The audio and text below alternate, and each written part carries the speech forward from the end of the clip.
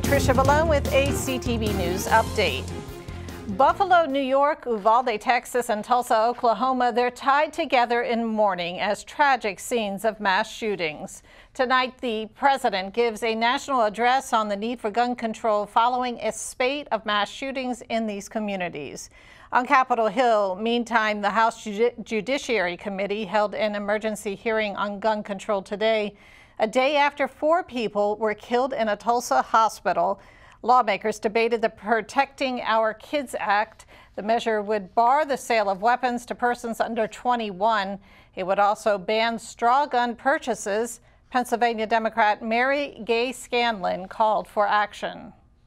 Day. I will not sit idly by watching preventable tragedies play out over and over again, day after day, year after year.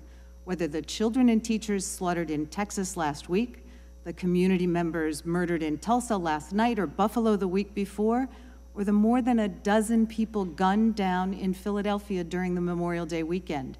In cities and towns across the country, we are mourning too many people whose lives have been cut short. The president addresses the nation tonight at 7:30. The latest COVID numbers for our area indicate an increase in the positivity rate in Prince George's. According to the Maryland Department of Health, the county's positivity rate is at 11.03%. More than 1,500 people have tested positive for the virus. Seven Marylanders have died of COVID over the past 24 hours. 494 people are in the hospital. That's 18 more than yesterday. The state reports the first heat related death of the year. Health officials say the victim was a 65 year old man from Baltimore County. As the weather gets warmer, health leaders want to remind residents to never leave children or pets inside a car. They also say to drink a lot of water and wear loose fitting clothing. And you are watching CTV News. I'm Patricia Valone. Coming up, veteran Democrat Glenn Ivey campaigns for a seat in the U.S. Congress. We'll have his story after the break.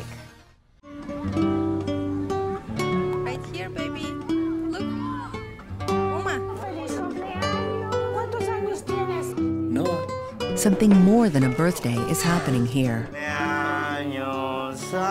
Once you can see it, you can help. The sooner you recognize the signs of autism, the sooner you can make a lifetime of difference for your child. Start by answering a few simple questions at screenforautism.org. Welcome back. A Montgomery County lawmaker implores Governor Hogan to take emergency action related to the upcoming elections. Senator Cheryl Kagan sent a letter to Hogan discussing her disappointment that he vetoed her emergency legislation. SB 163 would have allowed the canvassing of ballots to begin eight days before the start of early voting. Kagan says that local boards of elections are struggling this election cycle due to delays in the approval of redistricting maps and a rescheduled primary election day. She adds that historic increases in mail in and internet ballots, as well as postal service delays, could also increase problems. Well, he has been a public servant for much of his life. Glenn Ivey grew up in Rocky Mount, North Carolina, where schools were still segregated when he started attending. He says much of his upbringing shaped him for his career path. The father of five boys and one girl has served on Capitol Hill as counsel for several lawmakers, as an assistant U.S. attorney, and as chair of Maryland's Public Service Commission. But many Prince Georgians remember him most as state's attorney. Now, Ivey is running for the congressional House seat in District 4. Unfortunately, things have changed a lot, but we're fighting a lot of the same battles we were fighting 30 years ago when I started working for Congressman Conyers. So, for, for example, uh, we had motor voter legislation that he was moving through at the time. Since then, the Voting Rights Act has been gutted uh, by the Supreme Court, and there's an effort now to reinstate parts of the Voting Rights Act that were killed at that point. And, uh, you know, just the tenor of, of, of Capitol Hill is uh, changed a great deal. In some ways, just they find it difficult to get things done. Um, and so I think there's, there needs to be a consistent effort to keep pushing forward on to protect the values and the things that we've won in the past and try and build on those, build on Obamacare, address inflation and other problems like that. Ivey says his other priorities include climate change, public education funding, crime, and COVID related issues. As we told you yesterday, the Prince George's County Council unanimously passed the budget for fiscal year 2023. The historic $5 billion plan includes 2.6 billion for education and nearly 367 million for public safety. For some on the council, due to term limits, the FY23 budget was their last. Council members Todd Turner and Danielle Glaros spoke with CTV about the process. I think this one's incredibly special because you can really look back and see how far we've come um, in the growth here in Prince George's County. And that's not to say we don't have our challenges ahead, um, but there's been some really critical investments that have gotten us to this place, um, and particularly the scale of our budget this year. We've seen a budget when I first came in at about just over $3 billion, now to almost $5 billion. And in the interim, obviously, we've had to deal with, uh, you know, an international crisis that nobody ever expected in the March of 2020. We're still recovering from that. We still have needs in our community, and I believe this budget addresses those as well as the other needs that we always have. The new budget goes into effect on July 1st. Well, it's called The Bell Affair, and it premieres tonight at the Public Playhouse. The animated documentary tells the true story of the Bell family, which sued the federal government for their freedom. The Bells were enslaved in Prince George's County and in Washington, D.C. And slavery, slavery was, was being challenged. And I think that's something that we need to recover in our understanding of American history. And I also think we need to recover or understand that slavery was challenged by families, families like the Bells. You're talking about getting your freedom? How do you do it? How do you map it out? Okay? So that's what we're doing. We're dealing with details. We're dealing with intimacies. You see, we're dealing with, we're showing how enslaved people talked to each other, lived with each other, argued with each other, challenged each other, worked together. How did they manage their families? And that is the jewel of our project. That's it. The film screens tonight at 7 o'clock at Public Playhouse in Cheverly. Well, America's youngest and best spellers take the stage at the country's most coveted spelling competition. The 2022 Scripps National Spelling Bee is back at the National Harbor. Today is the much anticipated finals round. 2021 Spelling Bee champ Zaila Avant-garde gives some important advice to this year's contestants. You're here, you're a champion, so always remember that even though you probably will hear the bell, at the same time just always remember you're a champion to be here and have fun.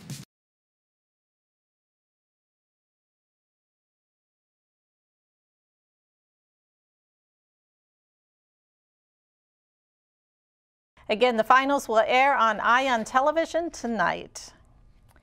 Well, residents living along areas of Maryland's eastern shore are now bridging the digital divide. Fiber optic cables are being installed along telephone poles in rural areas where many have experienced spotty internet service or none at all.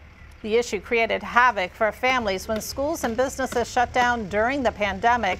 Estimates for laying the broadband service run about $28,000 per mile making it not very feasible for cable companies to bring service to sparsely populated areas.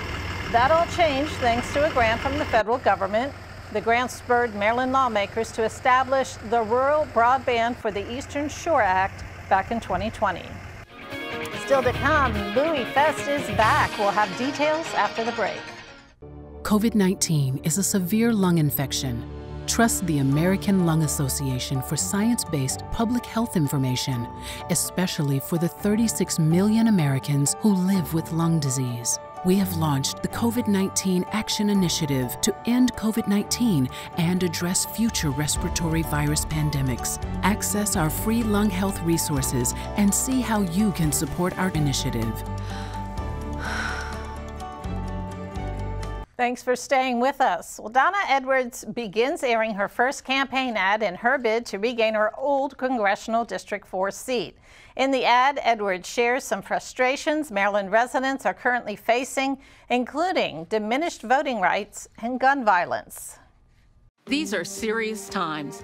Babies gunned down in our schools and on our streets, reproductive rights struck down in our courts, family budgets in a tailspin, and a political system that's doing nothing. The ad will be airing for at least two weeks on TV and cable in the DC market, as well as on African American radio stations in the region. And it is another day to celebrate young people as the graduation season continues. The Northwestern High School class of 2022 donned caps and gowns this morning. Commencement was held just a mile or so from their Hyattsville campus at the University of Maryland. Vivian Nailia Castrillo. Zuli Kate Lucero. Leah Zalike Abraham.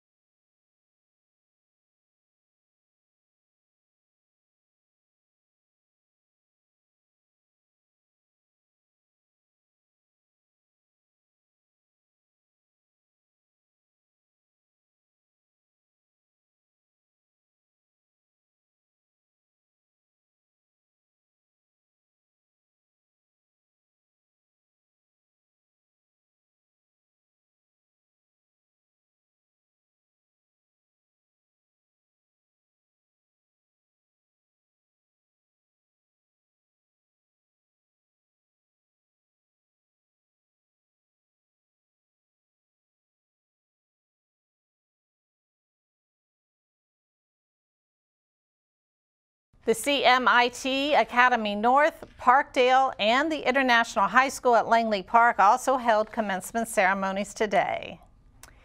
The Department of Public Works and Transportation held a road safety contest for county school kids. These are some of the videos the middle and high schoolers put together this spring. The contest was part of the county's Vision Zero Focus on the Road program. It's aimed at reducing traffic deaths. The county received 30 entries from 33 students at 18 different schools.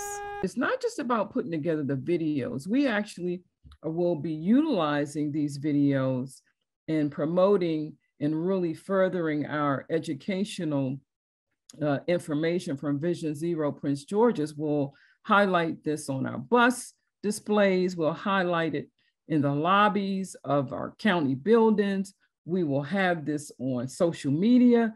So this actually is material or videos that we plan to use in our safety messaging. Three middle schools and three high schools received top honors. Well, Bowie's annual festival is back and in person this year. That's right, Bowie Fest is set to take place this Saturday, June 4th at Allen Pond Park. The family-friendly event will include arts and crafts, musical acts, dancers, a magic show, and even a rib eating contest. Residents will also be able to get information about various clubs, nonprofits, and the services in the county in the city rather. Organizers say that 2022 marks the 45th year of the festival. Bowie Fest is the tradition of bringing out the best of Bowie. So even though it's open to anybody in the United States or the world for that matter, anybody can come enjoy Bowie Fest. We really put it on for our citizens to give them a fantastic day of just entertainment. Bowie Fest is from 11 a.m. to 6 p.m. this Saturday. Now let's get a check on your weather forecast. Tonight, thunderstorms likely lows in the 60s. Friday, mostly sunny, highs around 79. Saturday, sunny skies, highs near 80. And Sunday, mostly sunny, high temperatures in the upper 70s. Sounds like a great weekend. That wraps up our CTV News update. I'm Patricia Valone. Have a great night.